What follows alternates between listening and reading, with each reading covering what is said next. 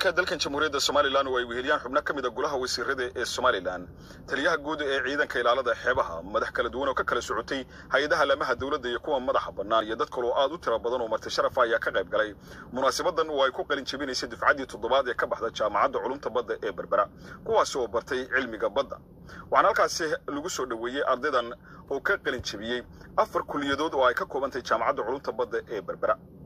intaasi kadibna guddoomiyaha jaamacadda culumta badda brofesor cabdiqani maxamed kheyre ayaa ka warramay ardaydan qalin jebinaysa iyo weliba waxyaabaha ay barteen. Waxaa ku jira boqol iyo koob iyo konton arday afar boqol iyo koob iyo konton arday waxaana maanta qalin jebinaya koob iyo lixdan ka mida afar boqol iyo koob iyo kontonka arday. Ardayda maanta halkan hortiina fadhida waxay ka kala socdaan afarta kulliyadood ee kala ah port and shipping management maritime transport technology marine engineering iyo fisheries and marine resources. Waxaan kalsooni weyn ku qabaa inay ardaydan yihiin arday dhisan dhinac kasta xoogagaalna ay u yihiin aqoonta baddeenna iyo resourceska aynu haysanno waxa aan mar labaad ku kalsoonahay waxa aan mar labaad kalsooni weyn ku qabaa ardaydani inay yihiin hogaamiyayaashii berrito mas'uuliyiinta degmada berbera gobolka waalidiin iyo dad kaloo marti sharafa oo iyaguna halkaasi ka hadlaya dhammaantoodba soo dhoweeyey ardaydan ka qalin jebisay jaamacadda culumta badda ee berbera oo noqonaysa dufcaddii toddobaad ee ka baxda jaamacaddaasi. Sidaynu ognahay jaamacadda baddu waa astaanta magaaladeenna runtii iyo qarankeenaba waxaan leeyahay ardayda mar labaad hambalyo hambalyo. Shaqo fiican baa qabateen jaamacadda iyo maamulkeedaba waan hambalyeynayaa waxaanan alle ka rajaynayaa cilmigaas oo markii hore nagu yaraa. Hadda ay yihiin qaybtii toddobaad. Runtii maanta farxad aad u weyn bay noo tahay inay noo qalin jebiyaan koob iyo lixdan arday oo ka qalin jebinaya jaamacadda badda oo runtii qaranka muhiim u ah meel fiicanna ugu jirta. Ardayda maanta qalin jebiyana ay yihiin dad aqoon leh oo karti leh oo lagu tabcay waalidiintooda iyo iyagaba waan mahad celinaya inay dadaalkaa dheer ee maanta maanta inay maanta qalin bedelashadaas sameeyaan u suurtogeliyey dhammaantiinba waan idin hambalyeenaya runtii waa maalin farxad leh. Jaamacaddani waxay kaga duwan tahay jaamacadaha kale waa jaamacadda keliya dalka ka jirta ee lagu barto culumta badda. Waxay qaranka u leedahay ahmiyad dheeraada waxay dalka u leedahay ahmiyad dheeraada waxaa annaga noo leedahay boraatooritahaan ahmiyad gaara ardaydii ku habboonayd iyo macallimiintii ku habboonayd iyo maamulkii ku habboonaaba ishelay baan odhan karayaa. Sababtaasa waxay dhalisay in ay dufcado badani ka qalin jebiyaan weliba dufcado taya leh. Waxay ka kala kooban yihiin afar kuliyadood taasoo kale ah kuliyadda wadista iyo hagista maraakiibta oo afka qalaad lagu dhaho maritime transport iyo kuliyadda mechanical engineerinka ee dhinaca badda oo iyadana la yidhaahdo marine engineer. Iyaduna sidoo kale waxaa kuliyadda saddexaad ah ee ardaydu ay maanta ka qalin bedelanayaan isugu jiraan marine and fishery resource oo ah khayraadka badda. Madasha owgan inagu gaaban owgeed jaamacadda badda berberi waxa ay buuxinaysaa oo ay dalka ugu jirtaa kaalin aad iyo aad u muhiima. Taliyaha guud ee ciidanka ilaalada xeebaha somalilan admiraal axmed hurre harri oo isaguna halkaasi ka hadlay ayaa soo dhoweeyey ardaydan ka qalin jebisay jaamacadda culumta badda ee berbera. Maanta sida idiin wada muuqata yuniformka ardaydu ku qalin jebinaysa iyo ka aanu xidhannahay aniga iyo tali oo ah taliyihii ciidanka ilaalada xeebaha jamhuuriyadda somalilan oo dhinacayga midig taagan yahay taliyihii saldhigga koowaad ee gobolka saaxil berbera iyo yuniformka ay ardaydu ku qalin jebinaysaa isku mid baanu nahay taasi waxay ka markhaati kacaysaa inaannu isku bah iyo walaalo iyo mataana nahay ardayda jaamacadda iyo ciidanka ilaalada xeebaha ee jamhuuriyadda somalilan sidaasay farxaad gooniya annaga noogu tahay. Waxaana odhan lahaa dadkii halka ka hadlayey qolada sida ardayda loo xusayo kale aan halayn naloo xusaabay ahayd maadaama aanu isku mid ba nahay dhinaca kale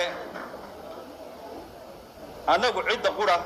ee aanu bahwadaag leenahay ee aanu noo gurman karta waxna tari karta xagga aqoonta badda marka laga hadlayo waxaan odhan karnaa waxa weeyaan jaamacadda badda iyo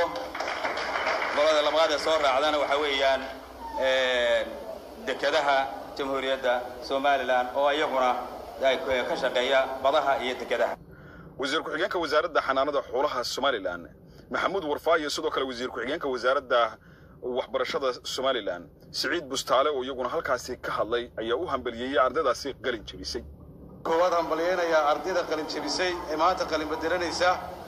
ee ka baxday jaamacaddan barashada culumta badda qaybaheeda kala duwan oon leeyahay hambalyo hambalyo hambalyo mar labaad waxaan hambalyaynayaa waalidiinta soo garab taagnaa fursadda siiyey inay ardaydani wax bartaan oo ay bartaan weliba cilmi la barto cilmiga ugu qiimaha badan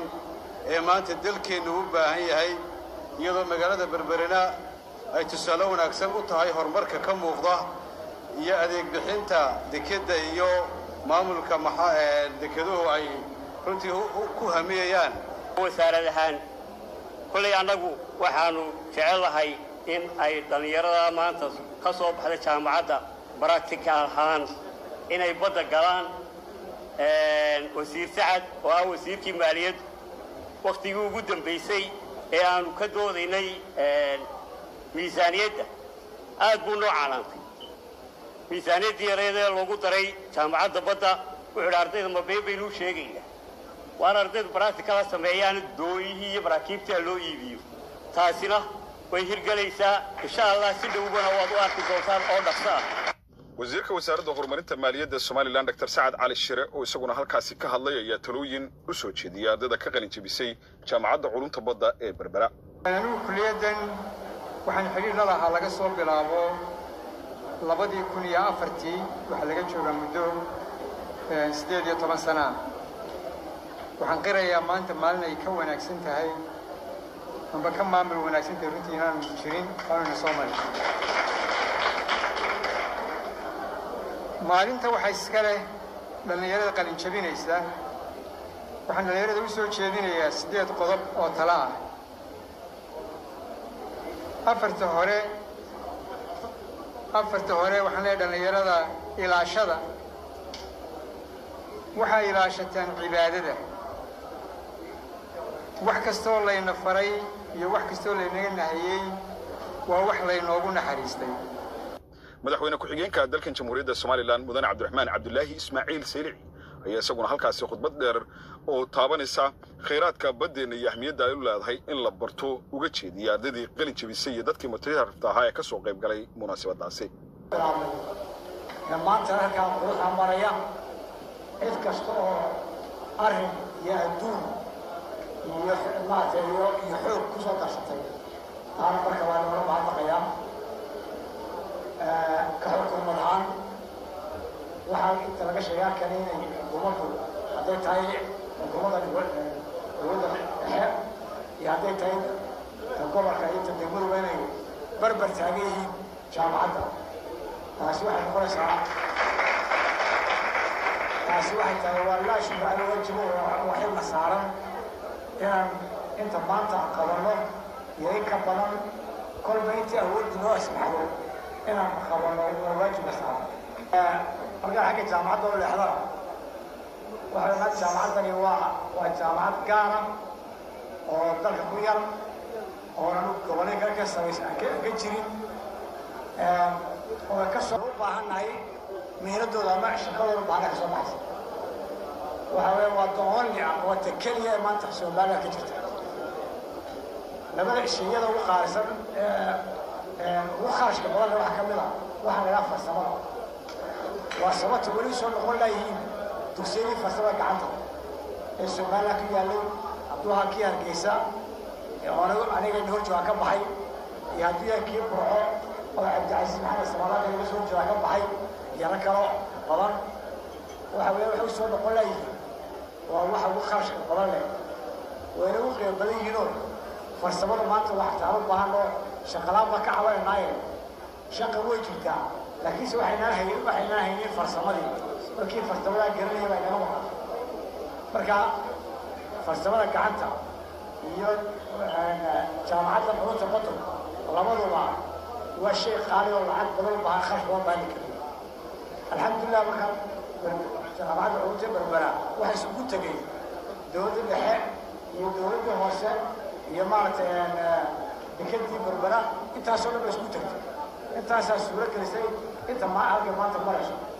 gabagabadii munaasabadan qalinjabinta waxaa halkaasi shahaadooyin iyo abaalmarino lagu guddoonsiiyey. Ardaydii ugu sarraysay kuliyadaha kala duwan ee qalin jabinayay iyo sidoo kale shahaadooyinkii ay ku dhammaystireen muddadii ay soo dheganayeen jaamacaddaasi. Mukhtaar cabdiraxmaan maxamuud telefishinka qaranka somalilan. Berbera